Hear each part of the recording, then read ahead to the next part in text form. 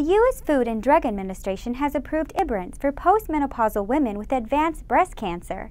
Ibrance is being approved under the FDA's Accelerated Approval Program, which provides earlier patient access to promising new drugs while the company conducts confirmatory clinical trials. Ibrance is intended for women with estrogen receptor positive, HER2 negative advanced breast cancer who have not yet received an endocrine based therapy. It is to be used in combination with letrozole, another FDA approved product used to treat certain kinds of breast cancer in postmenopausal women. For more information, visit rxwiki.com.